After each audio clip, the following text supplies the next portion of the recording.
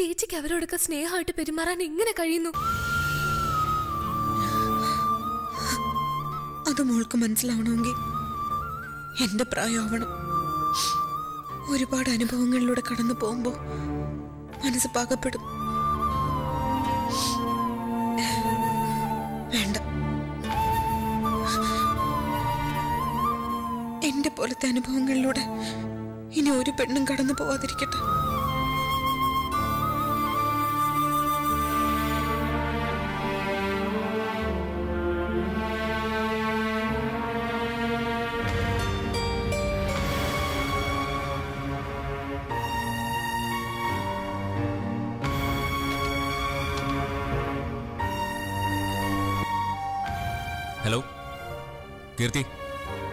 Come to my cabin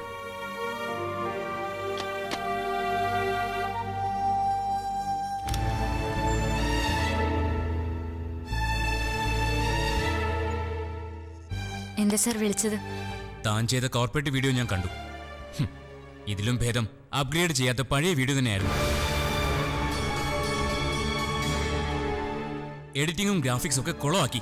ഇതെന്താ കുട്ടികളെയാണെന്നാണോ വിചാരിച്ചിരിക്കുന്നത് അല്ല സർ. എന്തല്ലാന്ന്? വലിയ മൾട്ടിമീഡിയ ഡിഗ്രിക്കാരിയാണെന്നാണല്ലോ അവകാശപ്പെടുന്നത്. താൻ കോപ്പി അടിച്ചാണോ എക്സാം പാസ്സായത്?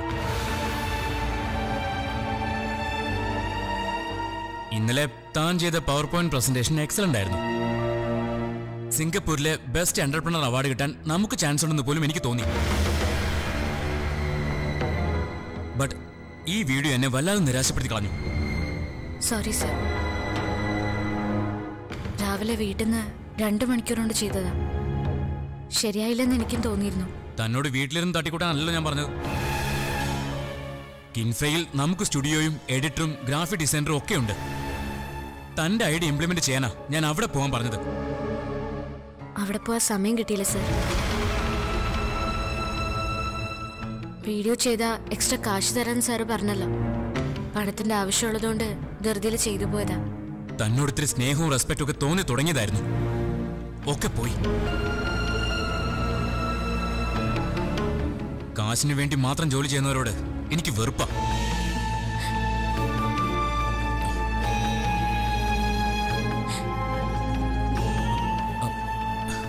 താൻ കരയണ്ട. പോയി വൃത്തിയായി ചെയ്തോണ്ട് വാ. ഇനി ചെയ്ത് ശരിയാവില്ല സർ.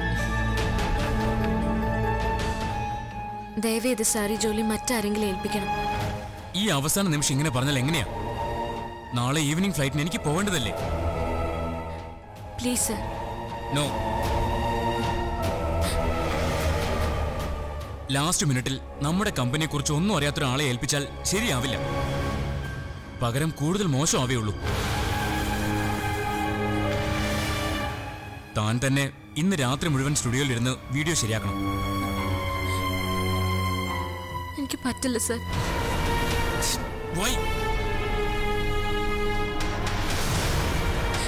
ജോലി ചെയ്യാൻ പറയുമ്പോൾ പറ്റില്ല എന്ന് മറുപടി പറയുന്ന ഒരാളെയും ഈശ്വരമണത്തിന് വേണ്ട. പേഴ്സണൽ പ്രോബ്ലംസ് എല്ലാവർക്കും ഉണ്ടാവും. തന്നോട് തന്നെ എന്താ പ്രശ്നമെന്ന് ഞാൻ പലതവണ ചോദിച്ചിട്ടില്ലേ? താൻ മറുപടി തരാതെ ഒഴിഞ്ഞു മാറി. മൈ ഡിസിഷൻ ഇസ് ഫൈനൽ താൻ വീഡിയോ ചെയ്തു തന്നേ പറ്റൂ. അല്ലെങ്കിൽ തനിക്ക് ഇവിടെ നിന്ന് പിരിഞ്ഞു പോവാം.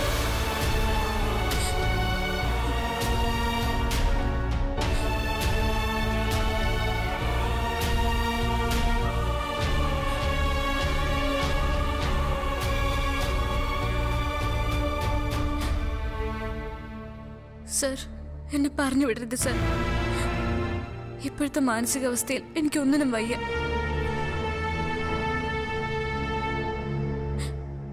ഒരു സ്ട്രോക്ക് വന്ന് അമ്മ ഹോസ്പിറ്റലിൽ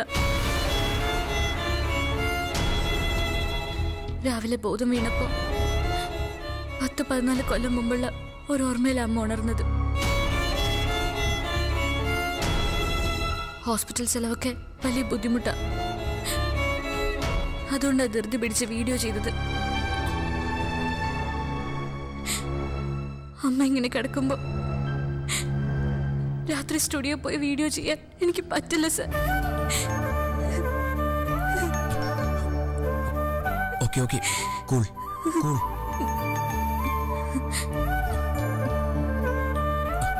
I'm sorry ചില നേരത്ത് ഞാൻ ഒരു ഇഡിയറ്റ് ആയി പോകും മറ്റുള്ളവരെ കുറിച്ചോ അവരുടെ മനസ്സിനെ കുറിച്ചോ ചിന്തിക്കാതെ സെൽഫിഷ് ആയി പോകും റിയലി സോറി സാറിനോട് സോറി ഒന്നും പറയണ്ട. എന്റെ അവസ്ഥ സാറിന് അറിയില്ലായിരുന്നല്ലോ. അമ്മ ഏത് ഹോസ്പിറ്റലിൽ അഡ്മിറ്റ് ആയിരിക്കുന്നത്? മെഡിക്കൽ മിഷനിലാ ഓ ഓക്കെ താൻ താൻ വീഡിയോ ചെയ്യണ്ട. എനിക്ക് നാളത്തെ എന്റെ യാത്രയ്ക്കുള്ള പേപ്പറുകൾ ശരിയാക്കിയിട്ട് ലീവ് എടുത്തോളൂ. അമ്മയുടെ അസുഖം മാറിയിട്ട് വന്നാൽ മതി. ശരി സർ ഒരു minute once again sorry it's okay sir Keerthi പിന്നെ അല്ല മാഗി ആന്റിയോട് എന്നെ വന്നൊന്ന് കാണാൻ പറ. ശരി സർ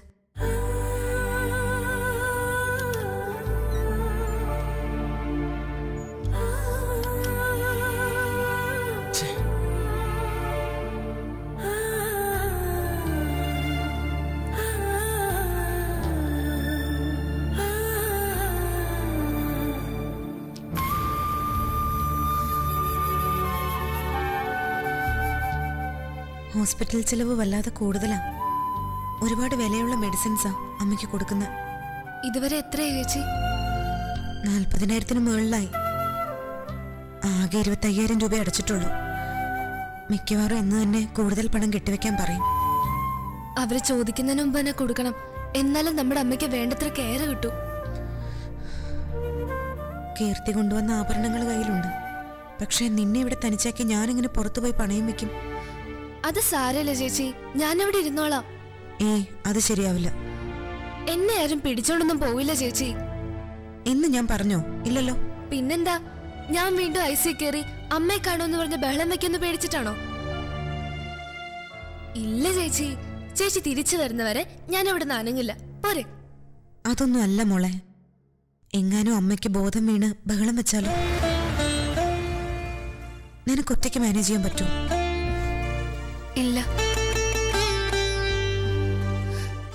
ശരിയാ ചേച്ചി പറഞ്ഞ്. എങ്ങും പോണ്ട. കീർത്തിയ മുത്തശ്ശനോ വന്നിട്ട് ഞാൻ പണയം വെക്കാൻ പൊക്കോളാം കേട്ടോ?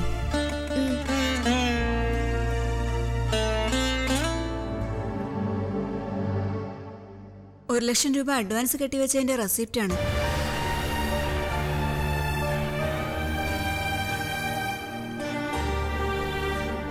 ആര് കെട്ടിവെച്ചു അതൊന്നും എനിക്കറിയില്ല.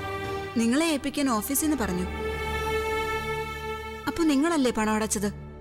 അല്ല ഒന്ന് പുറത്തു പോയി വന്നാലേ ക്യാഷ് ഉണ്ടാവൂന്ന് പറഞ്ഞുകൊണ്ടിരിക്കായിരുന്നു ഞങ്ങൾ. എന്തായാലും ഇത് വാങ്ങൂ.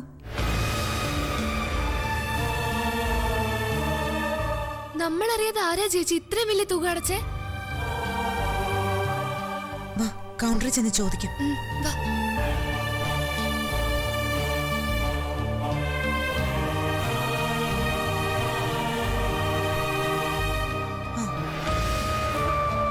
അമ്മയുടെ കാര്യം അറിഞ്ഞപ്പോ സുധ സാർ എന്നോട് ലീവ് എടുത്തോളം പറഞ്ഞു. ഞങ്ങൾ ഹോസ്പിറ്റലിന്റെ കൗണ്ടർ വരെ പോവായിരുന്നു. നമ്മൾ അറിയാതെ ആരോ ഇവിടെ ഒരു ലക്ഷം രൂപ അഡ്വാൻസ് അടച്ചു. ഒരു ലക്ഷം രൂപയോ? ആ അതേനെ ആരാ അടച്ചെന്ന് അറിഞ്ഞേ പറ്റൂ. ഇനിയിപ്പോ ശ്രീയേട്ടനെങ്ങാനും അടച്ചതാവോ? ഏ ശ്രീ ഫിനാൻഷ്യലി ഭയങ്കര ടൈറ്റാ പറയാൻ പറ്റില്ല ചേച്ചി. എവിടുന്നെങ്കിലും കടം വാങ്ങിക്കൊണ്ടൊന്ന് അടച്ചു കാണും. എന്നിട്ടായിരിക്കും അമ്മയെ കാണാൻ വന്നത്. അയാൾ ഇവിടെ വന്നിരുന്നോ? ഉം. ഓ എന്നിട്ട് അയാളെ കണ്ടപ്പോഴേക്കും ചേച്ചിയുടെ മനസ്സും കലിഞ്ഞോ ഒരലിവും തോന്നിയില്ല. ഇതൊരു ആശുപത്രിയല്ലേ ഇവിടെ വെച്ചൊരു വഴക്കുണ്ടാക്കാതെ മാന്യമായി സംസാരിച്ചു വിട്ടു. അയാളോട് മാന്യത. സ്വന്തം അനിയത്തെ പോലെ കാണേണ്ട എന്നെ കാമുകയായിട്ട് സങ്കല്പിച്ചതേ. ഞാൻ ഒരു കാലത്തും പോർക്കില്ല. കീർത്തിച്ച് വെറുതെ കാവ്യച്ചോട് ചൂടാവണ്ട.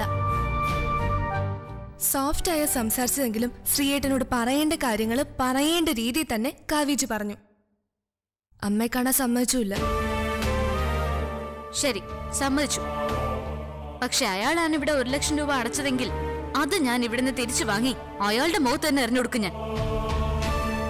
ആ ആ കാര്യത്തിൽ ഞാനും കീർത്തിച്ചിക്കൊപ്പമുണ്ട് ഇത്രയൊക്കെ ആക്കി വെച്ചിട്ട് ശ്രീയേട്ടന്റെ കാശ് കൊണ്ട് അമ്മയെ ചികിത്സിച്ച ഒരു കാലത്ത് അസുഖം മാറില്ല. എന്തായാലും കൗണ്ടറിലേക്കൊന്ന് പോവാം.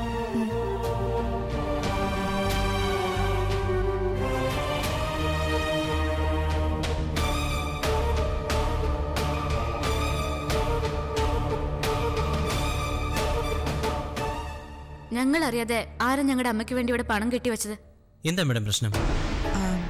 സേതുലക്ഷ്മി എന്ന പേഷ്യന്റിന്റെ പേരിൽ ആരോ ഇന്ന് അഡ്വാൻസ് കെട്ടിവെച്ചു. അതാരാണെന്ന് അറിയാൻ വേണ്ടി വന്നത്. അഡ്മിഷൻ കാർഡ് ഉണ്ടോ ആ യെസ് ദാ, ജസ്റ്റ് മിനിറ്റ്.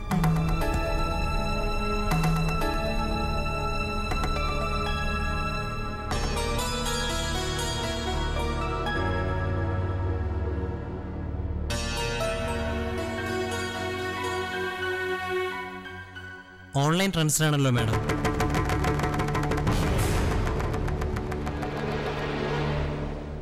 ആരോ ട്രാൻസ്ഫർ ചെയ്തിരിക്കുന്നത് one mister Siddharth Menon Siddharth sir.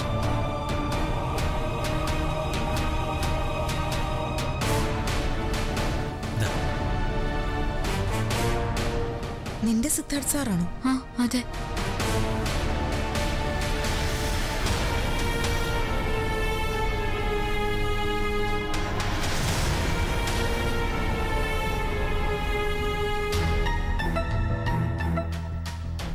ചേച്ചി സിദ്ധാർത്ഥ്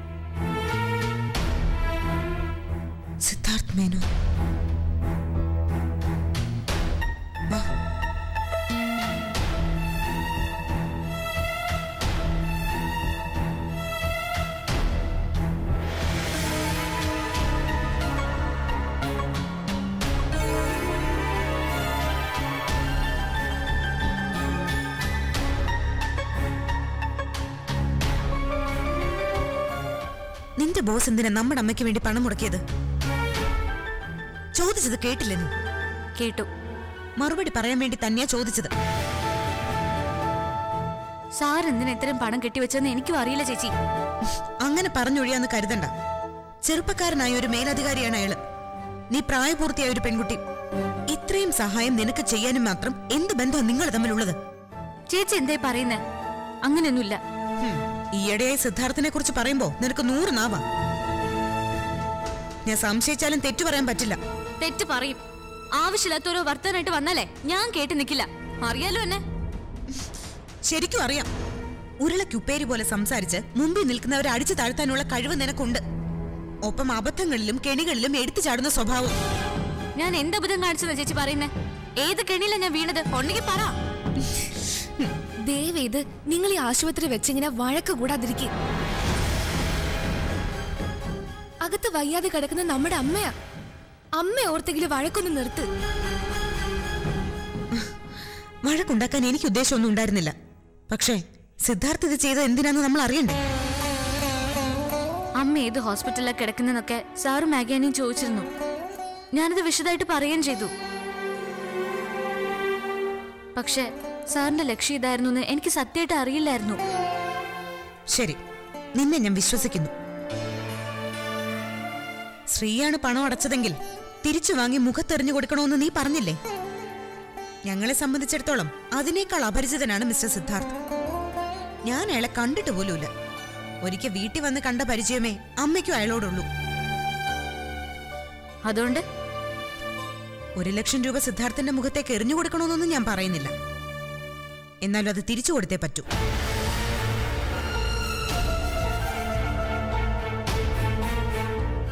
ഇപ്പൊ തന്നെ.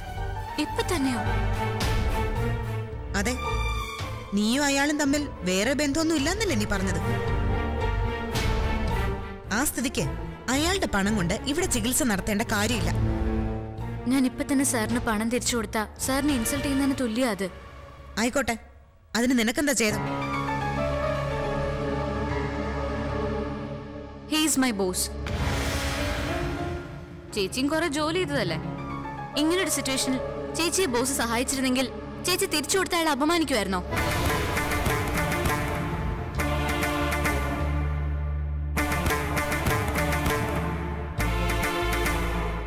ചേച്ചിയുടെ സംശയം എനിക്കുണ്ട്. സിദ്ധാർത്ഥ് സാർ എന്തിനാ എനിക്ക് വേണ്ടി പണം മുടക്കിയത് ജെന്യൂൻ ആയിട്ടുള്ള ഒരു കാരണം അതിന് പിന്നിലുണ്ടാവും തന്നെയാ എന്റെ വിശ്വാസം. എങ്കിൽ നീ ആളെ വിളിക്ക്. എന്നിട്ട് ചോദിക്ക്. ആ ജനുവിനായ കാരണം എന്താണെന്ന്. ഓക്കെ. ഞാനിപ്പോ തന്നെ വിളിക്കാം.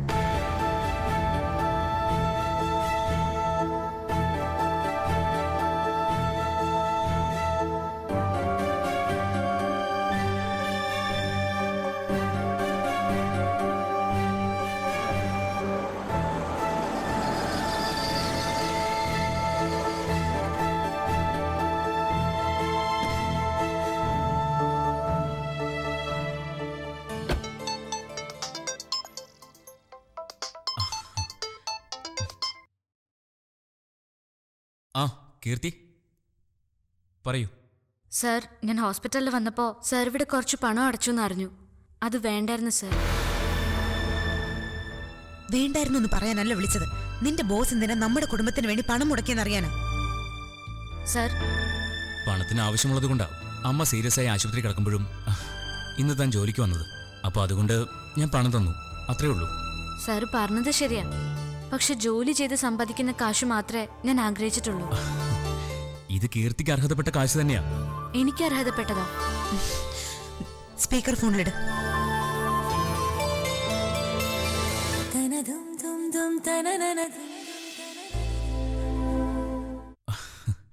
ഇത് കീർത്തിക്ക് അർഹതപ്പെട്ട കാശ് തന്നെയാ.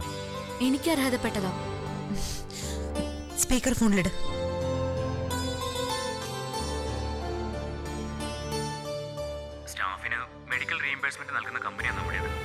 അച്ഛനമ്മമാർക്കും സഹോദരങ്ങൾക്കും വേണ്ടിയൊക്കെ നമ്മൾ സഹായം ചെയ്യാറുണ്ട്. ഹോസ്പിറ്റൽ ബില്ല് കൊടുക്കുമ്പോഴേ സാധാരണ റീഇംബേഴ്സ്മെന്റ് കിട്ടാറുള്ളൂ. പക്ഷേ നിങ്ങളുടെ കയ്യിൽ ക്യാഷ് ഉണ്ടാവില്ലെന്ന് ഞാൻ ഊഹിച്ചു. അതുകൊണ്ടാ തൽക്കാലത്തേക്ക് പേഴ്സണലായി ഒരു സഹായം ചെയ്തത്. റീഇംബേഴ്സ്മെന്റ് കിട്ടുമ്പോൾ കീർത്തി എനിക്ക് ഈ പണം തിരിച്ചു തന്നാൽ മതി. പേഴ്സണലായി സഹായിക്കാൻ ഇവളുമായി താങ്കൾക്ക് എന്ത് ബന്ധമുള്ളത്? കാവേച്ച സാർ ചോദിച്ചത്. ആ കാവ്യ എന്നെ തെറ്റിദ്ധരിക്കരുത്. കാവ്യ. നല്ല പേര്. പണം ആവശ്യത്തിന് ചെലവാക്കാനുള്ളതാ. സത്യത്തിൽ ഇത് നേരിട്ട് കൊണ്ടുവന്ന് കയ്യിൽ തരണമെന്നാണ് ഞാൻ വിചാരിച്ചത്. സമയമില്ലാത്തോണ്ടാ വരാൻ പറ്റാത്തത്. നാളെ സിംഗപ്പൂരിലൊരു ബിസിനസ് മീറ്റിന് പോണം. മടങ്ങി വന്ന ആദ്യം വരുന്നത് അങ്ങോട്ടായിരിക്കും. എന്റെ ചോദ്യം ഇതൊന്നും അല്ല. എന്തിന് താങ്കൾ ഞങ്ങൾക്ക് വേണ്ടി വ്യക്തിപരമായി പണം മുടക്കി? ഇവളുടെ ചേച്ചി എന്ന നിലയിൽ എനിക്കത് അറിഞ്ഞേ പറ്റൂ. എനിക്കങ്ങനെ തോന്നി. അതെന്തുകൊണ്ടാണെന്ന് ചോദിച്ചാൽ ഉത്തരവില്ല. ദയവ് ചെയ്ത് ഇപ്പം അത് ഉപയോഗിക്കൂ. ഉടനെ തിരിച്ചു തന്ന് അപമാനിക്കരുത്.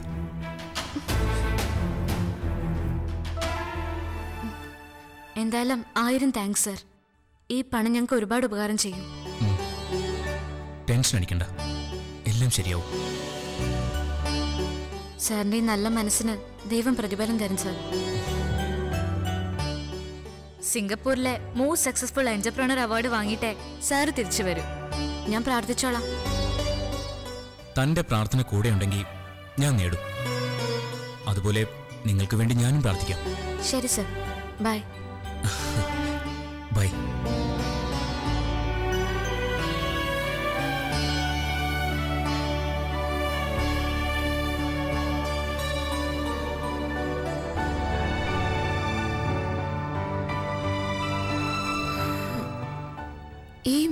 അത്ര ശരിയല്ലല്ലോ.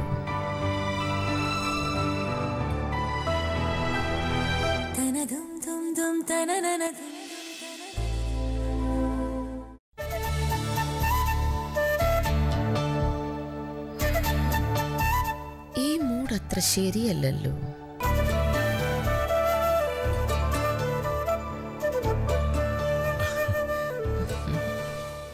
കാവ്യ അല്ലേ? എന്താ? ഏയ് ഒന്നുമില്ല. വയ്ക്കൂ.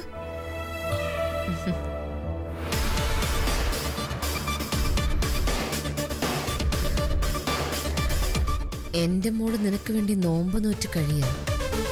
പക്ഷെ നീ നോമ്പ് നോൽക്കുന്നത് വേറെ ആർക്കെങ്കിലും വേണ്ടിയാണെങ്കിൽ എനിക്ക് സന്തോഷേ ഉള്ളൂ.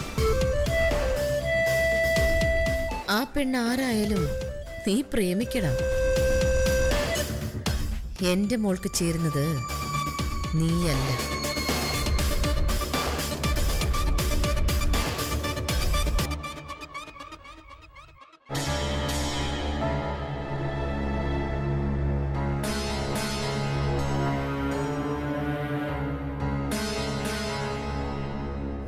ഇനിയൊരു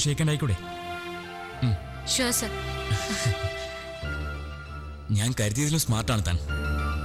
വെൽ പ്രിപ്പയർഡ് ആയിട്ടാ എന്റെ ഒപ്പം വന്നത്. Really congrats thank you sir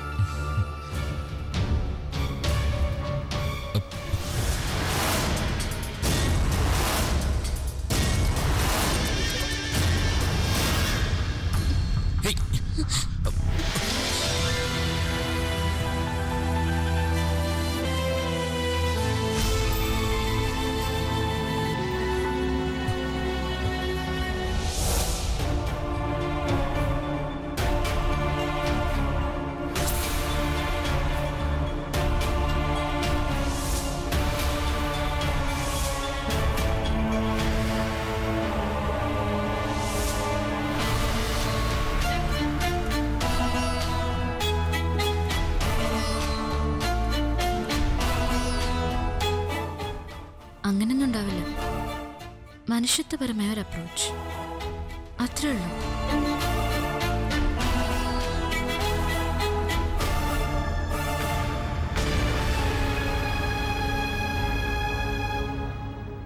കീർത്തി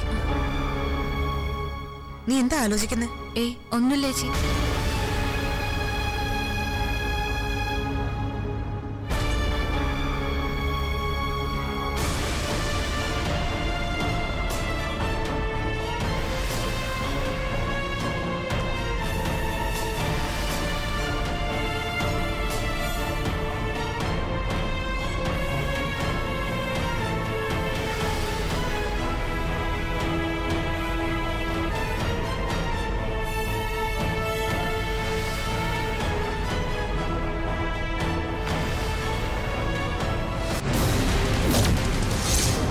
ഏതോ ഒരു കാവ്യയുമായിട്ട് അവൻ ഫോണിൽ സംസാരിക്കുന്നത് ഞാൻ കേട്ടു. അവനുമായി ബന്ധമുള്ള ഒരു കാവ്യയെ കണ്ടെത്താൻ വലിയ ബുദ്ധിമുട്ടുണ്ടാവില്ല.